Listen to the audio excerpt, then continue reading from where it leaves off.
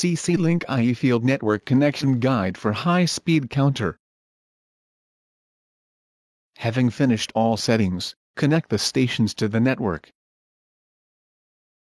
If the link has been successfully established, the data link LEDs on the master and remote stations turn on. Turn on the devices and check the operation. Turn on the initial processing device at the master station. Then set values for the time unit and moving average count devices. Turn on the count enable device.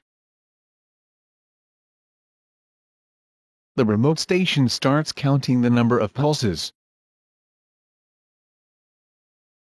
The count value is sent to the master station over the network.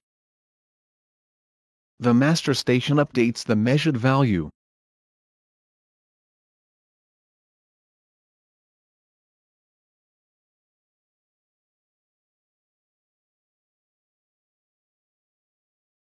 This completes the connection guide for high-speed counter. As previously mentioned, the data in a remote location can be easily counted by utilizing the CC-Link IE Field Network